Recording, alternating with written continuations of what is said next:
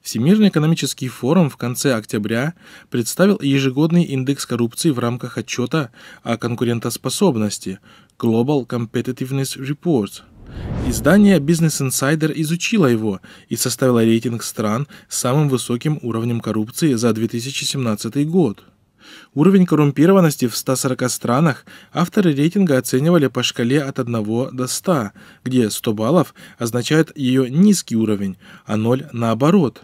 По 28 баллов набрали Гватемала, Бангладеш, Мавритания, Ливан и Кения, 27 баллов – Гвинея и Нигерия, а по 26 – Уганда и Никарагуа.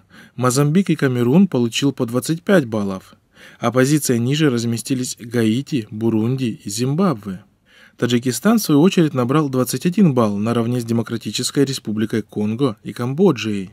Примечательно, что после объявления режимом в Таджикистане масштабной кампании по борьбе с коррупцией ее уровень в стране возрос. Для сравнения, в 2015 году страна набрала 26 баллов, а в 2016 году 25 баллов, то есть наблюдается ухудшение ситуации. Serbalan dona icra...